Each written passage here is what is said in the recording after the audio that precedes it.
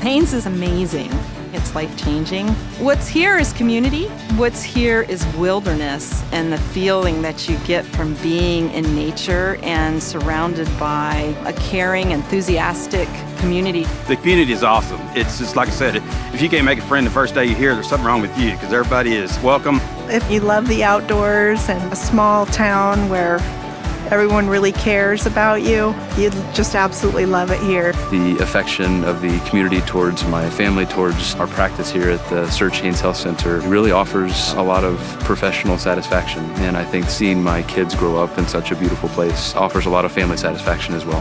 When you look around here, our ancestors would tell us this was like a food bowl when you look at the mountains that surround us. If you enjoy the outdoors and enjoy fishing and hunting and gathering berries, it's an alternative lifestyle to the city that I just enjoy. Working at SEARHC and Haines is right for someone that had a family. The schools here are excellent. It's a small enough community to where we all just get together the geography of this place brings the diverse people of Haines together.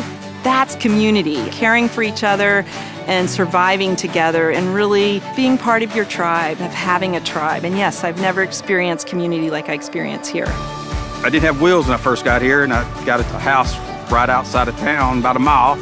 And the first car stopped and said, hey, pick me up and brought me to town, brought me to work. That's how it is every day. I've had kind of a love affair with Alaska my whole life. I first came here in 1981, then again in 91 by kayak. My husband got commissioned to build a boat in 2008, and we finally made the final move here. There's so much to love here. It's sunnier where other parts of Southeast Alaska are rainy. The mountains are right here. The fishing is amazing.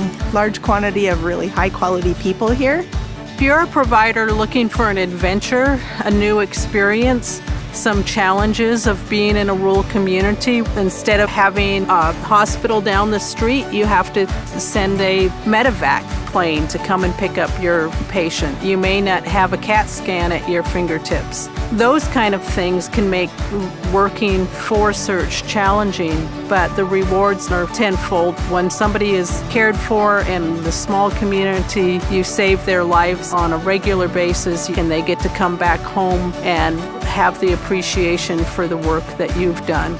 One of my call days did outpatient frontier primary care in Klukwan, dealt with a flipped whitewater raft, then was able to fly on a Coast Guard helicopter to, to Juneau, yeah, all, all in a given day. There's really nowhere else that you can do medicine like that. I'm Lisa. I'm Bud. I'm Susan. I'm Adam. I'm Kimberly, and I love being part of SEARHC.